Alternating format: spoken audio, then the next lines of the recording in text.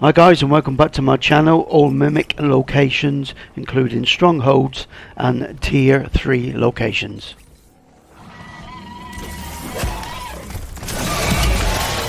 There are loads of stronghold locations all around the map and majority have two mimics in them.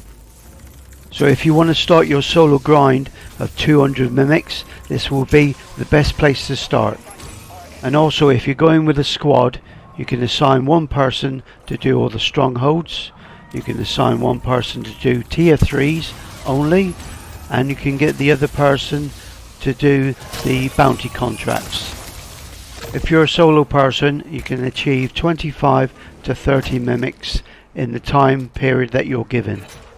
And if you do the maths as a squad, by the end of the game, you're touching 75 to 80 mimics in one solo game. So two or three games, and then you'll have the uniform.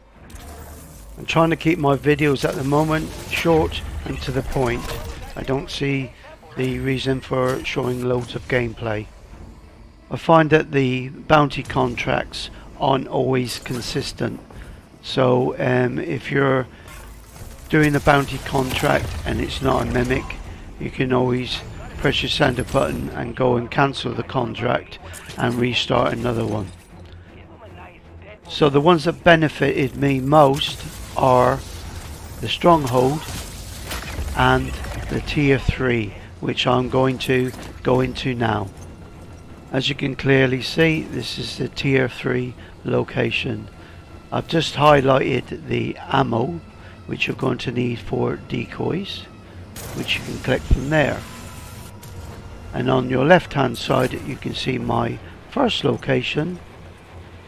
And also in front of me is my second location, which I'm marking right now. Right, everybody knows where the gasoline station is.